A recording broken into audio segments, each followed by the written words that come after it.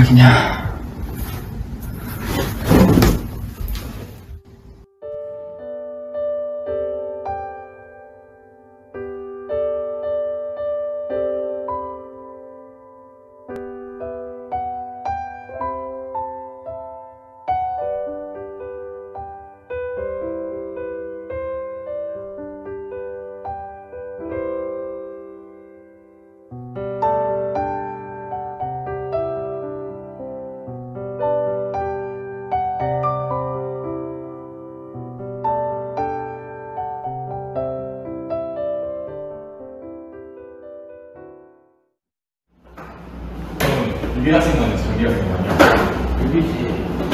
유비상. 야, 지금 상 뭐해? 아니지. 정중아. 괜찮아?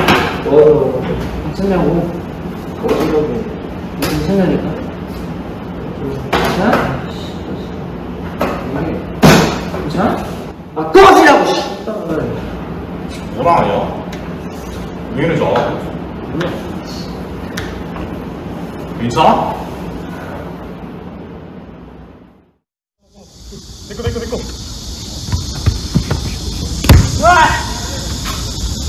야 여기 하나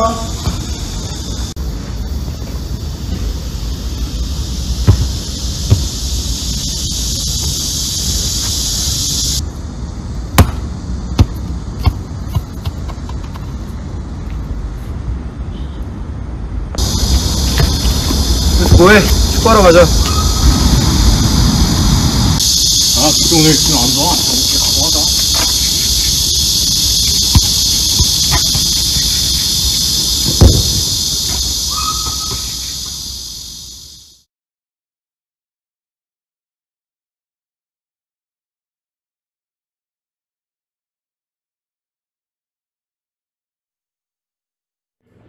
자 자, 여러분들, 자, 오늘 배울 작품은, 자, 안도현 시인의 너에게 묻는답니다.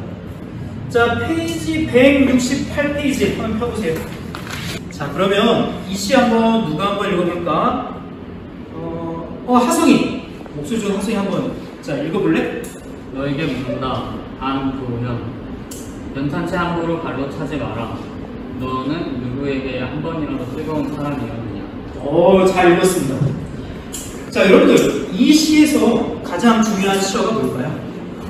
그쵸, 연탄재죠. 연탄재가 상징하는 의미, 뭘까요? 네, 바로 희생입니다. 희생. 여러분들, 연탄재 본 적 있어요? 못 봤어요. 아, 진짜 못 봤어?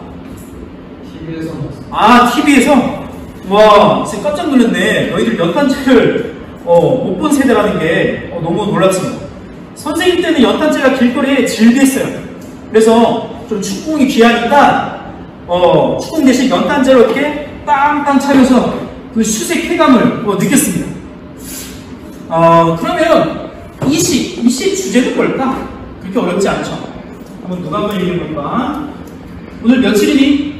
8일이에요. 8일. 어, 8번. 자, 장민철.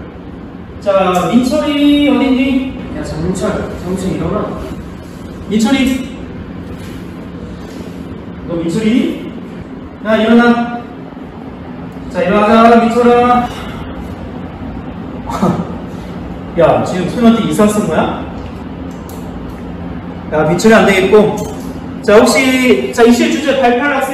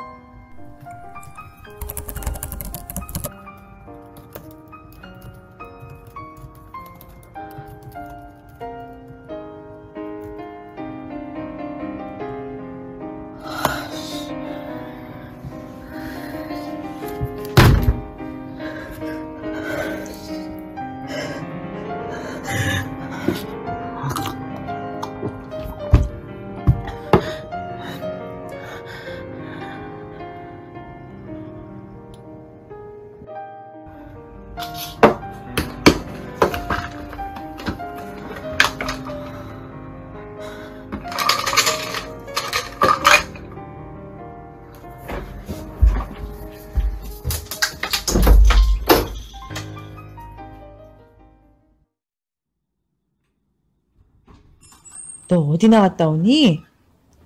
그런데 신발장 어딘가에서 이상하게 좋은 향기가 나더라.